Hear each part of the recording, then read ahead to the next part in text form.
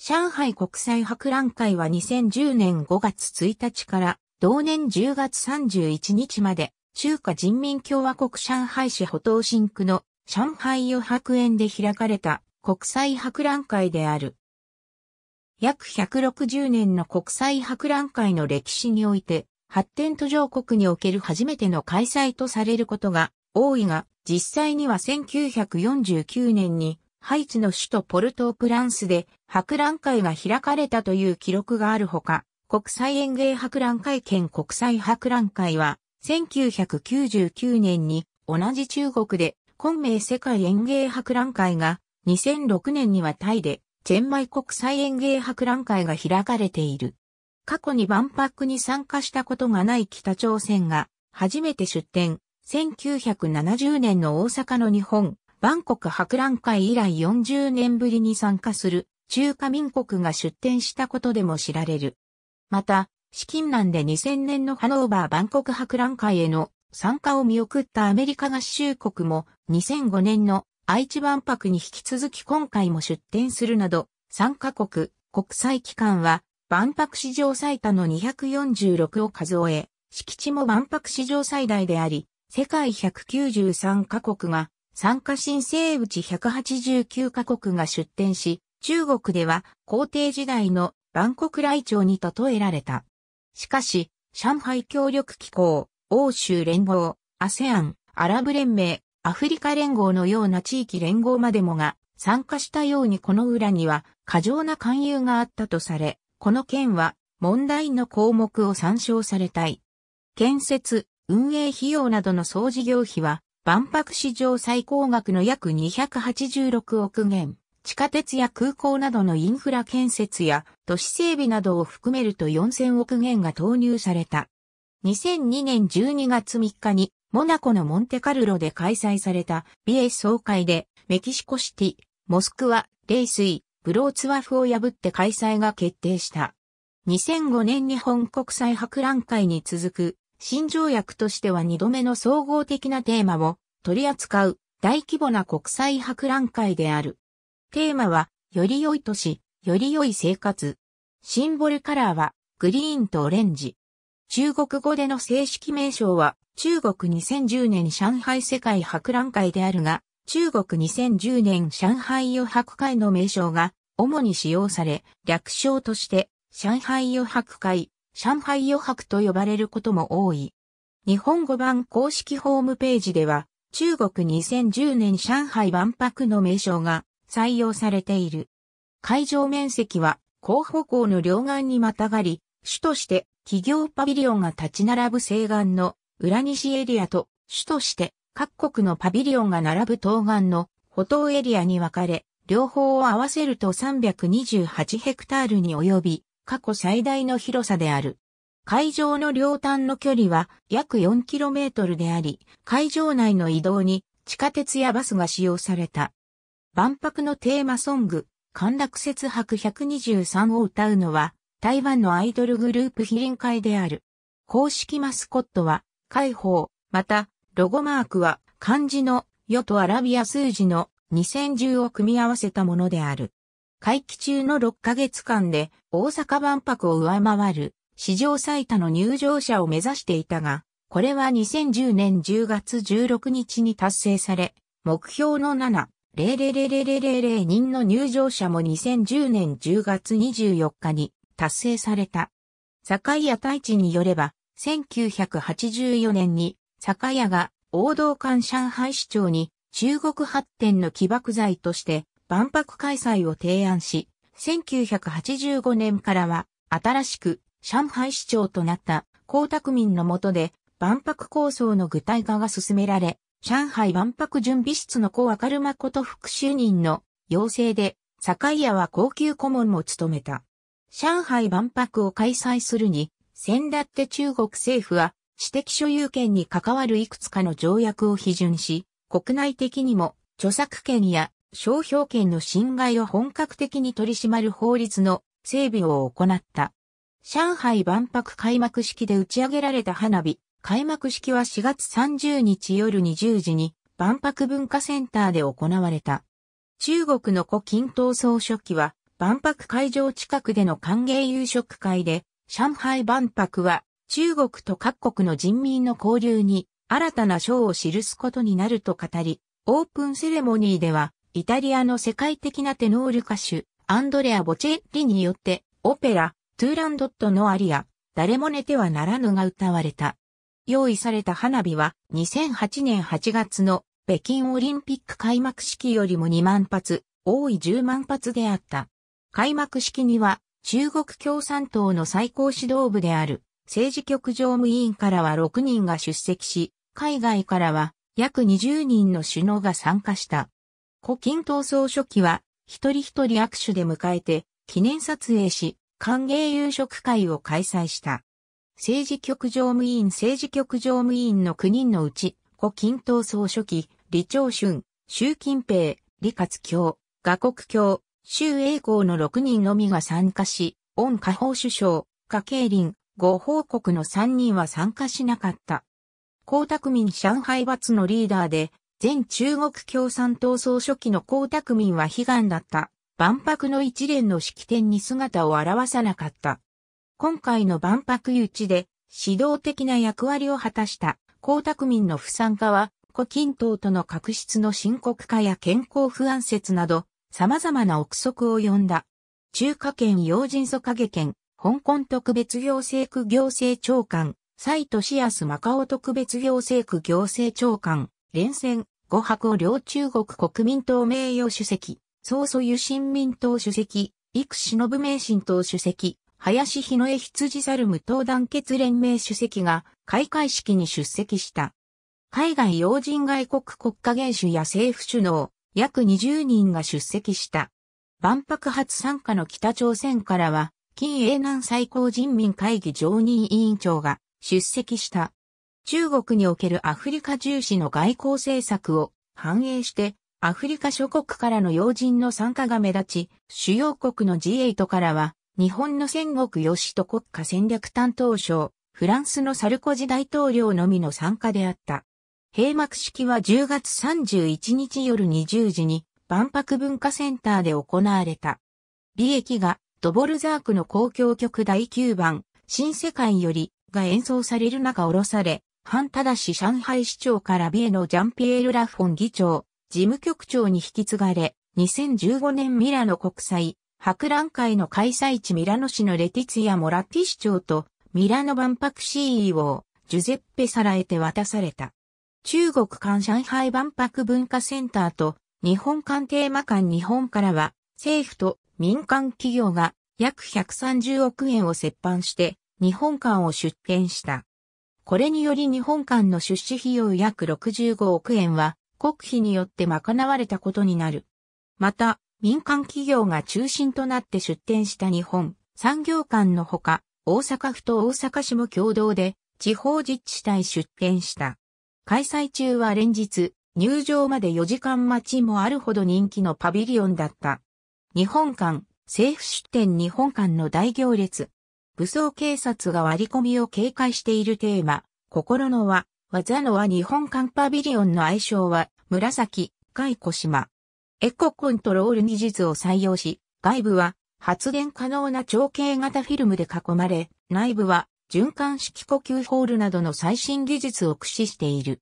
エバラ・キユーが館長を務め、日本館展示を貫く象徴となっている鳥は一時は、絶滅の危機に瀕した時で、里山の再生と環境保護を訴えかつ現在の日本の時は中国から送られたものの子孫であることから日中のつながりを象徴している。日本間のシンボルマークイコール笑顔のつながりは株式会社博ほどデザインの岡室健が考案。日本貿易振興機構が温度を取った高性能カメラやロボット、壁と一体化したテレビジョンなどが人気を呼び、上海万博でもトップクラスの人気館となった。日本館のイベントスペースでは、富山県を皮切りとして、日本の地方自治体による出展も行われ、盛況を博した。日本産業館日本産業館の天井 LED 壁画日本産業館民間企業出展テーマベターライフフロムジャパン日本産業館は日本の企業や自治体が連合して出展する大規模な展示館。アジアで唯一の外国民間出展企業館であり、海外開催の国際博覧会では異例の大規模民間出展となった。総合プロデューサーは、堺屋太一で同館の代表を兼ねた。館長は、エッセイストの秋岡英子。基本コンセプトは、綺麗、可愛い、気持ちいい。大阪府、大阪市ケース、地方自治体出展テーマ、環境先進都市水と大阪の挑戦、経済成長とともに、水の浄化や再生などの環境対策に取り組み、水を活かして持続発展可能な都市づくりを行ってきた、水と大阪の官民の環境技術や先進的取り組みを紹介した。大阪府と大阪市がそれぞれ1億円ずつ出資し、民間企業を合わせた建設、運営費4億円でパビリオンを建設した。プロデューサーは、橋爪深也大阪府立大学教授。2010年上海万博公園彫刻プロジェクト、民間出展、テーマ、未来につ、流る街、人、友情博覧会場内の川沿いボードウォークに、藤井博一郎作のアクリル彫刻作品、不死状を永久設置、その除幕イベントを開催するとともに、福丹大学上海視覚芸術学院、加藤師範大学や上海市内ギャラリー等で日中美術家のグループ展覧会等の関連プログラムを開催。キュレーターは深瀬栄一郎。見学用の自動車名をパビリオンの日本語名は日本語版公式ホームページの表記による。テーマ館テーマ館は5つあった。メインのパビリオンは B ゾーンにあり、一つの巨大な建物に都市人館、都市生命館、都市プラネット館が大衆参加館及び生命陽光館と共に設置されていた。そのため、単にテーマ館と呼ぶ場合はこの建物を指した。A ゾーン台湾館、韓国館、日本館、イラン館、チベット館、雲南館、イスラエル館、B ゾーンオーストラリア館、カンボジア館。後方は、バンコク博覧センターマレーシア館、大館、太平洋、連合館内部国際赤十字と、赤新月館シーゾーンアフリカ連合館スーダン館、フランス館エストニア館アルゼンチン館チェコ館と、スロバキア館スイス館南アフリカ館ノルウェー館、ギリシア館 D ゾーン中国鉄道館石油館、E ゾーン蒸気 GM 自動車館中国船舶館、ハンブルクケース館大阪館案内所は、場内の各所に設置されていた。出入り口の近くや都線の乗り場付近には必ず設置されていた。案内所では、場内案内図や万博の話題専門の日刊新聞の余白毎日開放の配布があったほか、電光掲示板で各種情報が表示された。もちろん係員による直接の対応もできたが、必ずしもすべての係員が英語も使えるとは限らなかった。日本館に最も近い案内所にはほとんどの時間帯で日本語が話せる係員が配置されていた。中国独自のサービスとして、携帯用のチャポットに熱湯を無料提供してくれるサービスがあった。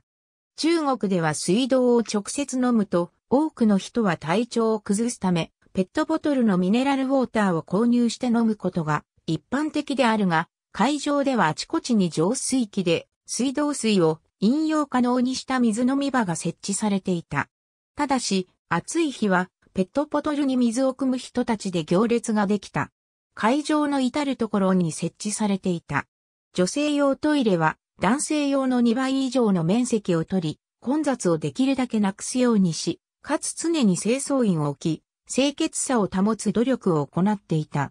大混雑が予想される日は、臨時のトレーラー式トイレも設置された。ただし、地方からやってきた来場者の中には、洋式トイレや水洗トイレの使い方がよくわからない人もいたようで、常識では考えられない使用方法をする人や、水を流さない人も見受けられた。また、中国の地方に未だに多く残る扉のないトイレに慣れた人の中には扉を閉じることに違和感を持つ人もいるようで、扉があるのに、あえて全開にして用を足す人もいた。グローバルパートナーの交通銀行が、歩道、浦西の両地区の会場内に友人店舗を構えて両替等の業務を行っていた。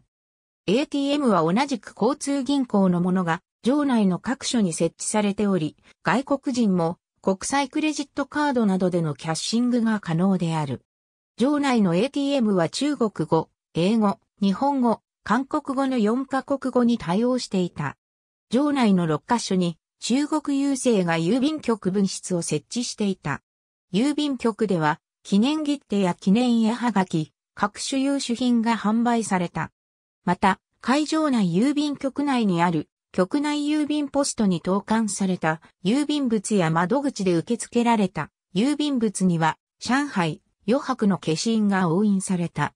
なお、万博郵便局の本局は中国間の南方の有料エリア外にある。レストランは場内各所にあったが、それらとは別に各国のパビリオンに付属する各国料理のものもあった。日本からは吉野やファインなどが正規出店をした。特にテーマ館とエキスポセンターの間には美食街が設置され、会場内でも多くのレストランや軽食、ファストフード店が集中していた。会場内には外国料理も日本料理を中心に多くの料理があったものの、食費が極めて安い中国においては割高感のある価格設定であった。有名チェーンの店でも、市中の店よりも割高な価格設定となっていた。会場は東西 4km を超える上に後方向の両側に渡っているために、場内交通は必須であった。このうちミニバスに相当する観光船は有料であったが、それ以外の交通機関はすべて無料で使用できた。無料のもののみをここでは取り上げる。会場内を走る電気バス4路線がある。うち2路線は、歩道側の路線、1路線は裏西側、1路線は家庭トンネルで両岸を連絡するバスであった。途中のバス停も設定されていた。パンタグラフを伸ばして充電中のよ、白大道線電気バス、上海地下鉄13号線が会場部分だけ先行開業し、歩道と裏西を結ぶ足としても活躍した。歩道側には余白大道駅が、裏西側にはロ浦大橋駅がある。なお、路線は馬灯路駅まで続いており、ここに会場外の出入り口が設置されていた。地下鉄13号線は万博終了後、運行を休止しており、2015年に正式に開通された。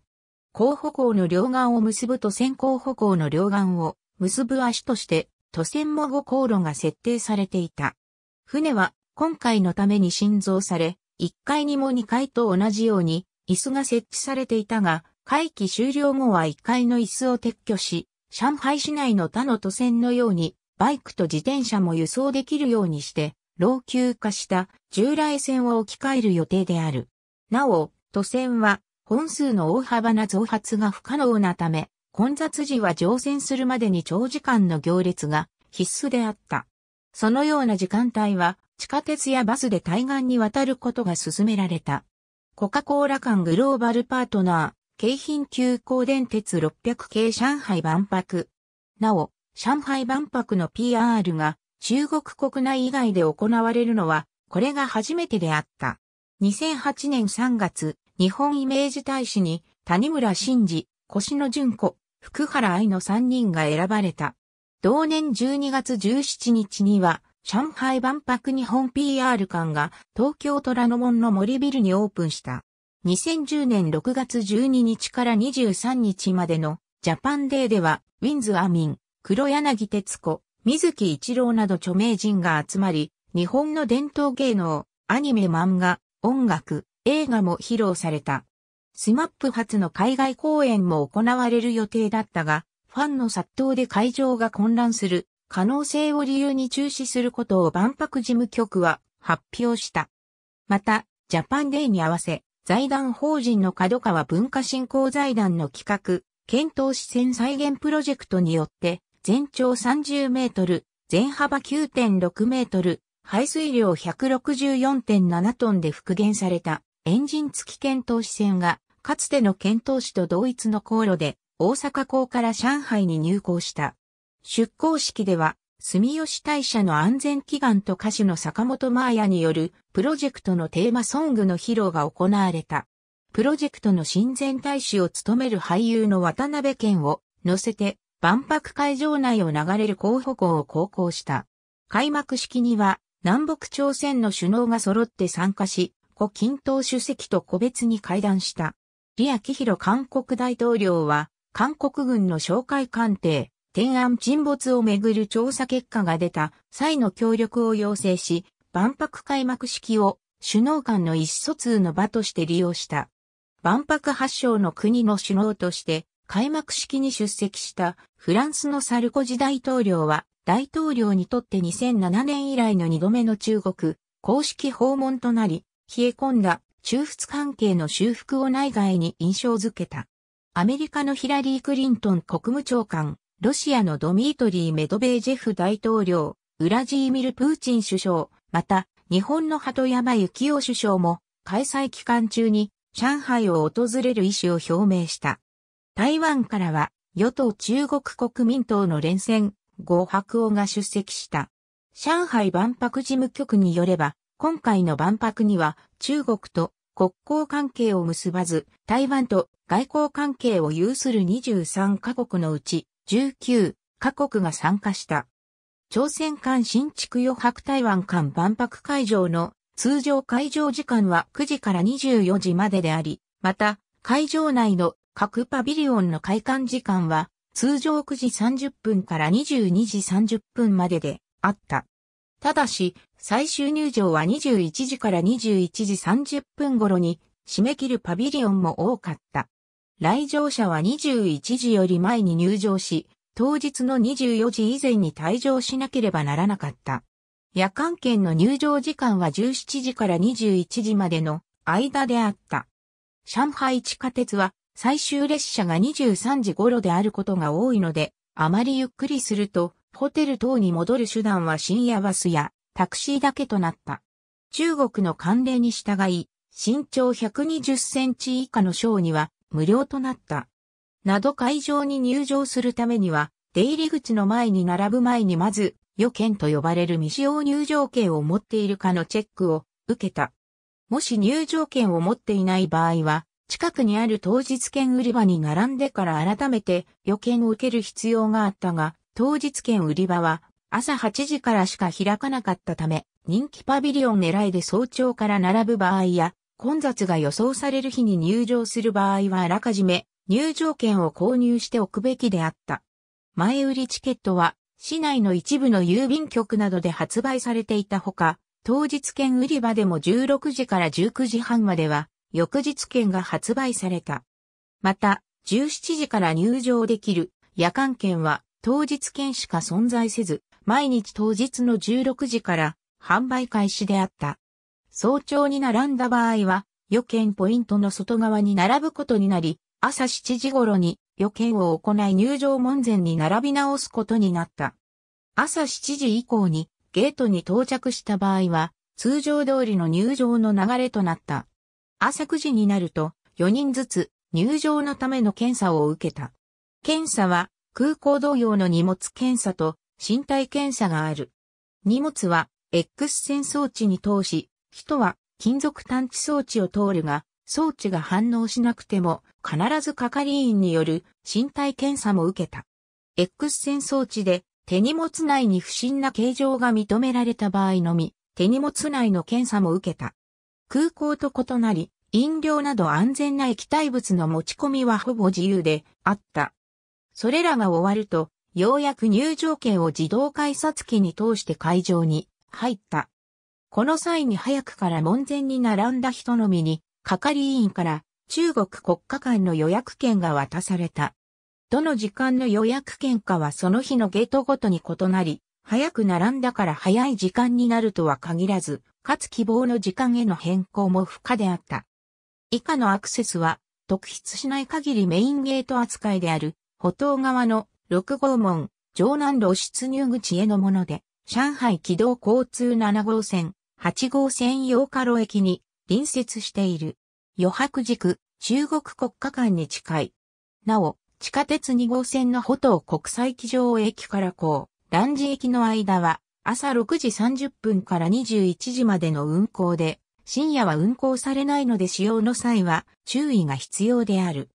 また、同区間は4両編成の列車の運行なので、必ず高蘭路駅で8両編成列車への乗り換えが必要である。羽田空港以外からの便は、歩東国際空港へ到着する。歩東国際空港には、国際線と一部の国内線が発着している。機動交通バスタクシー羽田空港からの直行便は、上海公共空港へ到着する。上海公共空港には主に中国国内の国内線が発着している。機動交通バスタクシー機動交通バス、武装警察本部の共産党委員会の指示のもと、数万人規模の中国人民武装警察部隊の隊員により警備が行われ、主に万博会場周辺の警戒、重点ターゲットの防衛、武装パトロール、重点地域の守備などが担当された。また、他にも万博警備のために警官約4万6千人を投入し、上海市内では約200万人の市民ボランティアが動員されて市外の巡回活動を行った。また、中国公安部、交通運輸部及び上海市人民政府は上海万博の安全な開催を保障するために万博期間中に上海市に侵入するすべての車両に対する検問の実施と通行証による管理を行うことを決定した。上海地下鉄では、すべての駅で X 線装置による手荷物検査を行っていた。2010年10月16日は土曜日で天候にも恵まれ気温も涼しく絶好のコンディションが揃ったため、前売り入場券を購入していたもののこれまで来場していなかった人々等が殺到し、入場者は1日だけで103.27万人を記録した。これは、上海万博のこれまでの1日あたり入場者、記録である9月23日の63.12万人は、もちろん、国際博覧会のこれまでの記録だった、大阪万博が1970年9月5日に、記録した83.58万人も大きく更新し、新記録となった。会場内は大混雑となり、石油館が12時間の待ち時間を記録したほか、5時間を超える待ち時間を記録したパビリオンが続出した。北朝鮮館など普段は待ち時間のないパビリオンにまでかなりの行列ができ、通路も大混雑したが、当初から入園者が70万人を超えそうな場合を想定した対策をとっていたため、通路に椅子や机などを出さないようにしたほか、園内交通用のバスを20両増やしたり、トレーラー型臨時トイレを各地に投入した。ボランティアの数も普段より増やし、会場の運営そのものは問題なく行われたと主催者側は発表している。その次の週末である10月23.24日は、通常日曜の入場券で入場できる最後の週末であったために、さらなる混雑も予想されたが、実際には悪天候となり再び100万人の入場者の来場とはならなかった。月曜日以降は指定日券でしか入場できなかったため、入場者数は落ち着いた。5月1日の入り口での行列会場全体開催当初は暑さ対策がほとんどなされておらず、日陰のベンチに倒れ込む来場者が続出していたが、その後、行列エリアには屋根、扇風機、冷風機、ドライミスト発生装置などが完備されるようになり、一部のパビリオンでは行列エリアに簡易ベンチも設置されるようになり、この問題は大幅に改善された。上海万博 PR ソングの盗作疑惑上海万博 PR ソングで中国の著名な作曲家、僕森の作品とされてきた2010等、来が岡本真代の楽曲、そのままの君でいてとそっくりだとして盗作疑惑が持ち上がっていた。中国ではインターネットを中心に批判が持ち上がり、日本のメディアでも大きく取り上げられた。事務局では事実確認のため一時使用停止し、その後、岡本真代の所属事務所に使用許可を求めた。岡本側は曲の使用を認めたが、当局はこの使用申請受け入れについて言論統制によって国内での報道を禁止した。なお、当初この曲は開会式で歌われる予定であったが、歌われなかった。エジプト間未開館のパビリオンベネズエラや南アフリカ共和国、エジプトなど一部の外国パビリオンは工事が遅れていて、開幕日の当日になっても開幕することができずに、閉まったままであった。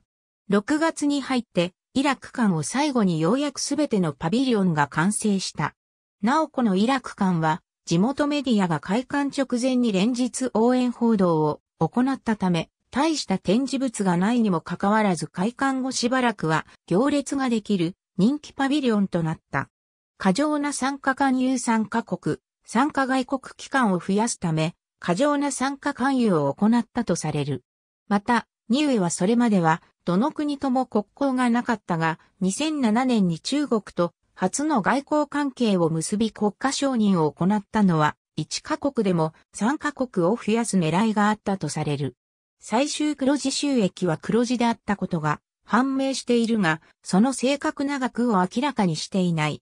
万博のための過剰なインフラ整備費に4000億中国元以上が費やされたとみられており、最終黒字で取り戻せているわけではない。大阪万博と上海万博との類似性を強調するのが自身が大阪万博の開催を主導した堺屋大地である。堺屋によれば大阪でも上海でも工業力による会場及び都市づくり大量の観客を円滑に運ぶ管理能力全世界からの出展者を迎える外交的成果の3点を内外に披露し、近代工業社会を誇示する点で類似しており、そこでは生活の質や生活様式、人々の消費行動や行動様式が大幅に変化することが期待されている。また、堺屋は上海万博は近代工業社会の最大にして最後のイベントになるだろうと予言し、中国人の消費のレベルを上げ、生活の質を向上させる変化の起爆剤になれば万博は成功だとしている。ただし、上海万博閉幕頃にはバブル経済が弾けて中国経済全体が落ち込む可能性があり、テイクオフの後には中国が世界標準を主張する可能性が少なくないとしている。朝日新聞編集委員の殿岡秀俊も万博の歴史に新たなページを開いたのは1970年の日本であったとしている。フランスでは革命により王室を失い、代わって国民統合の象徴としての意味を担わされたのが産業振興であり、産業博覧会であった。20世紀にフランスに代わって万博を主導したのはアメリカ合衆国であったが、そこにも国民統合の意味合いがあった。